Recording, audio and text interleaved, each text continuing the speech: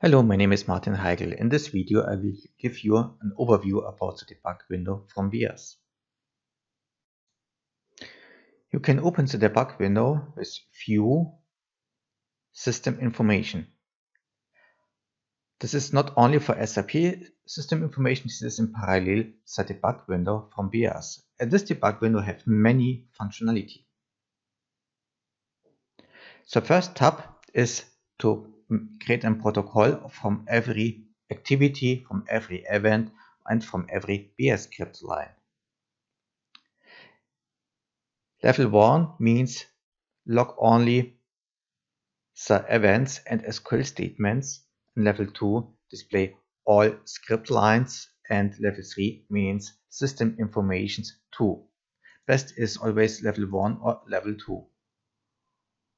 In settings, you can define which additional information you want to see, example window events, SQL statements, window focus and setup information, or information from the Beas usability package. You can use follow icons. This icon is to start the log or to stop. If you click on start, you see the red border or yellow is this on level 1. Here you can stop, the border is white, and here you can delete the current protocol. With this icon you can open and preview in the HTML browser or you can upload this to the Boyum Cloud. Additional is here to read all new things about Beas, the activity log, the question and answer area or the feature requests.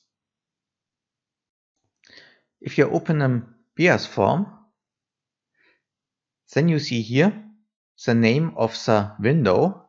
This is in this case article underline browse PSR and the name of the current field. This is a data window. DW1 is a part of formula. It's an item, the name of the item and the length, the type and the length and in which table this is saved. Example here we see the item name or the item code.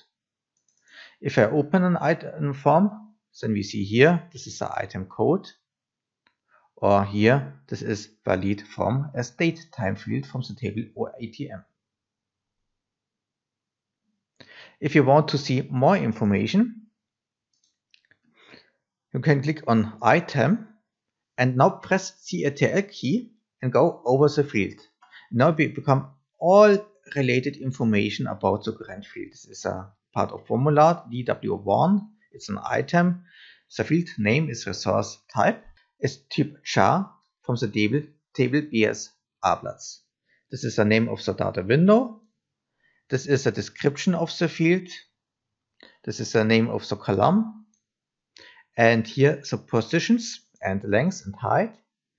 Here the information is a part of the object A tab because it's inside the tab area and the information of the tab area here. If you want to send the debug information to our Boyum support, then click on this icon here, upload.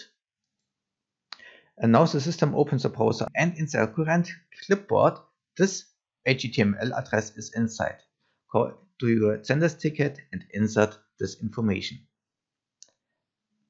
It's always the best if you create a Zendesk ticket, insert always the related debug information from the current action. The support can see more information about the process.